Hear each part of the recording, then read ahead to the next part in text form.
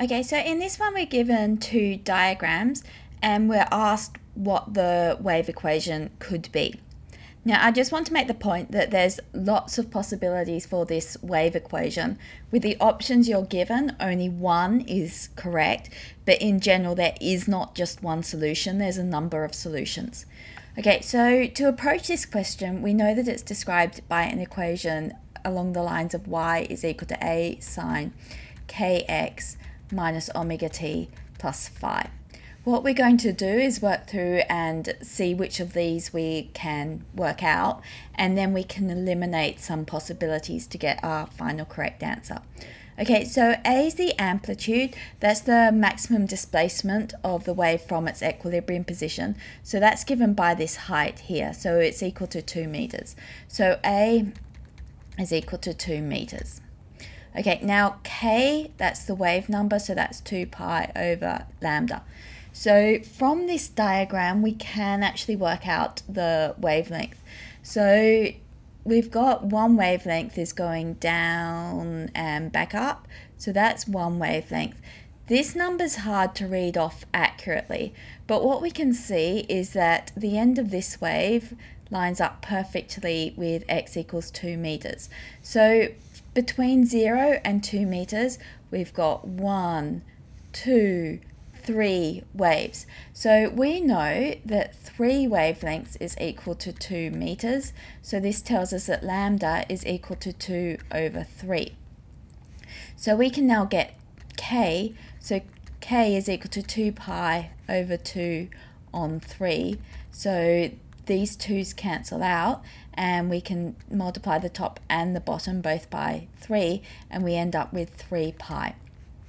So we've got k is 3 pi now. So, so far, let's write this in blue, what we've got so far is y is equal to 2 sine 3 pi x minus omega t plus phi.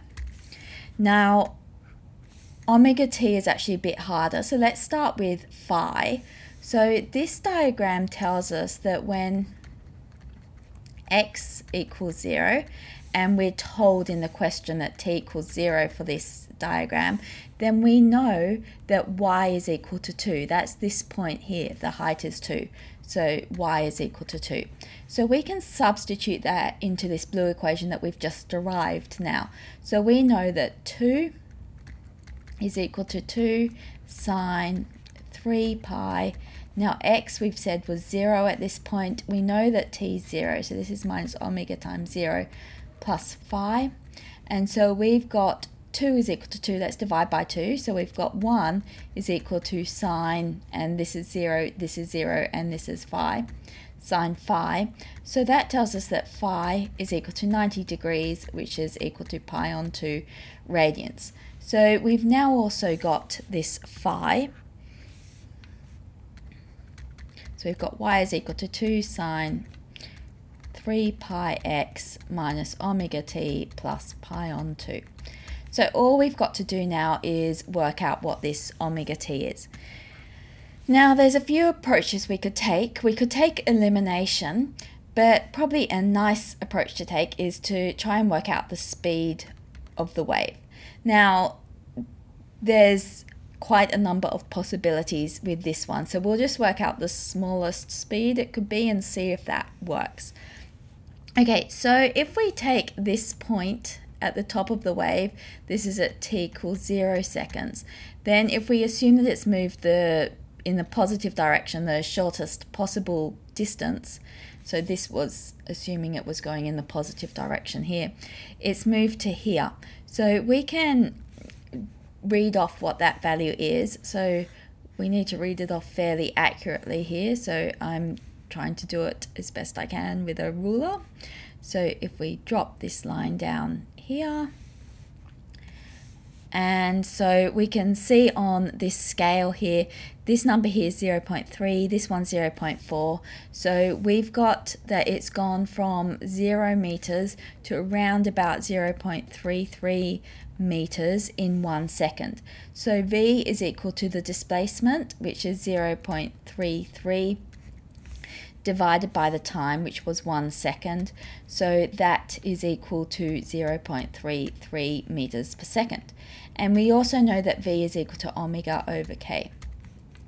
So omega is equal to K times 0.33. So this is equal to 3 pi times 0.33. So this is equal to 1 pi. So that's one option to get the final answer, which is y is equal to 2.0 sine 3 pi x minus 1.0 pi plus pi on 2. The other option, let's look at one of these options and show how we could show it wasn't correct.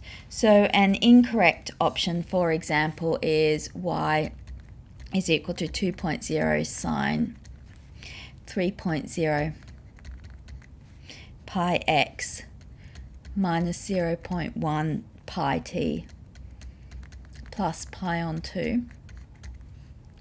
So this option had both our k right and our phi right. So what's wrong about this is the omega.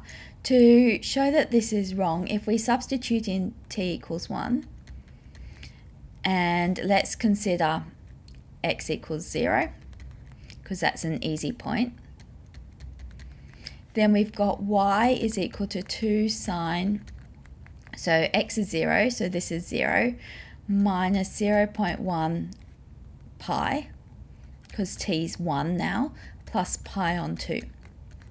So then what we can do is evaluate this on the calculator. and we end up with 1.902. So if this one was correct, we'd have to be starting our graph here, which isn't what's happening.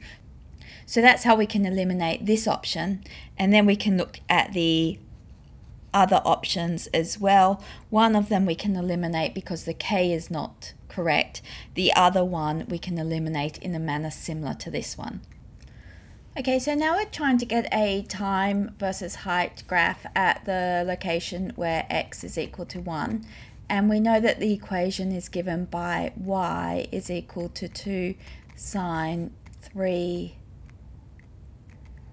pi x minus 1 pi t plus pi on 2.